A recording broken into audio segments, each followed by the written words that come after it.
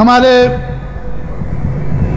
साथी जो राम हिड़ो हैं, ये विदर्भा आंदोलन में पहले काफ़ी लगे हुए थे। अभी अभी उन्होंने मुझसे कहा कि कुछ लोग विदर्भा की बात करते हैं और विदर्भा के लिए कुछ आंदोलन करके, लोगों को गुमराह करके उनके वोट बटोरना चाहते हैं। उन्होंने कहा कि भारतीय जनता पार्टी भी इस काम में लगी है। मैं आप लोगों से कहना चाहता हूँ कि बहुजन समाज पार्टी अगर छोटे छोटे राज्य लोगों की भलाई के लिए बनते हैं, उसके लिए बहुजन समाज पार्टी उनके रास्ते में कभी नहीं आएगी।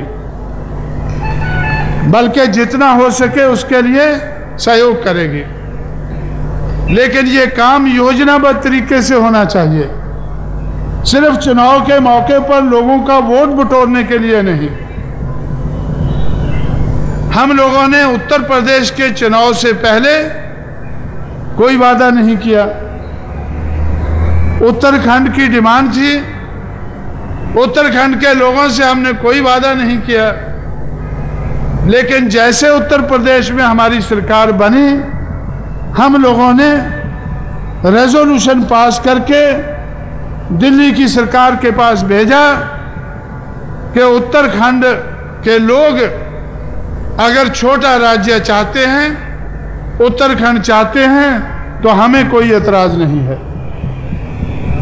उत्तर प्रदेश की सरकार को बहुजन समाज की सरकार को कोई एतराज़ नहीं है, लेकिन ये काम तो दिल्ली की सरकार को करना होगा। बीजेपी को भी मालूम है कि ये काम बीजेपी नहीं कर सकती है, महाराष्ट्र की सरकार नहीं कर सकती है। ये तो केंद्र की सरकार को करना होगा।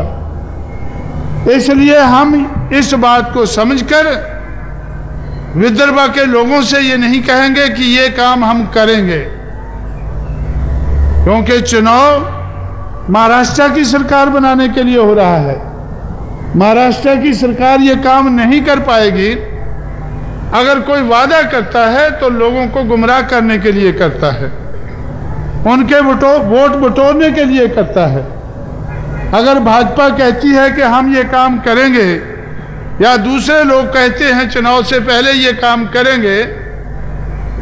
महाराष्ट्र की सरकार बनाने का हमें मौका दो, हम ये काम करेंगे।